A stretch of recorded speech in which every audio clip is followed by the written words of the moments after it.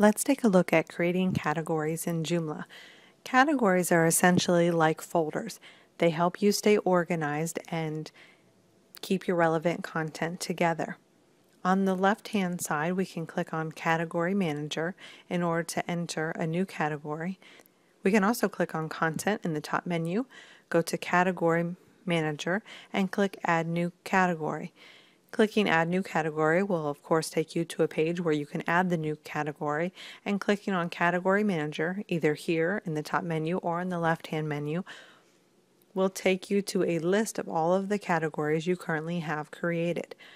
Joomla automatically creates one category for you when you install it and that's called uncategorized as you'll see here. If you would like to have a new category you can click the green New button in the upper left hand corner.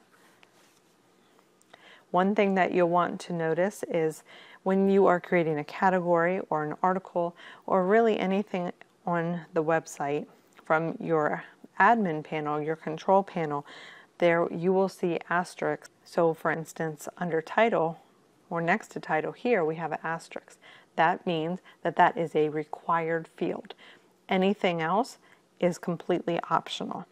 So for a category, the only thing that you will be required to enter is a title. So you can enter your title and here you can choose if you would like to have a parent category, which means that this category would ultimately be a subcategory. So uncategorized, for example, if I selected that would be the main category and my art would be a subcategory underneath of uncategorized.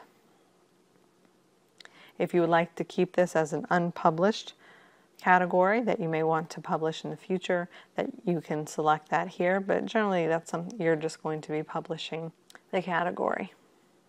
Once you have entered the title, you have a few options. You can you have a few options for saving the category. You have the green save button here. Now if you click on the green save button, it will save the new category and you will remain on this page. This will allow you to make any additional changes to the category that you'd like to see. The save and close button will save the category that you've created and it will return you to the full list of categories that your site has. Clicking save and new will save the category that you just created and it will generate a new form for you to create another category. So if you're first setting up your site and you have five categories to enter, this is the button you want. If you've changed your mind, you can obviously hit cancel.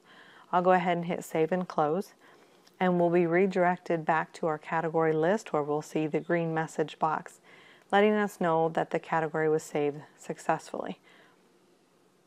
You can at any time go back and change or modify a category. So for instance, this dash here is letting me know that my art is a subcategory of categorized. And I decide I want the category to be its own category. So I will click back on it and go back to parent and select no parent. Clicking save and close, that will return me to the list and I'll see now it is a main category. If at any time you want to unpublish a category, there are actually three ways that you can do it. You can click on the box next to the category you wish to unpublish, and you can click the Unpublish button here.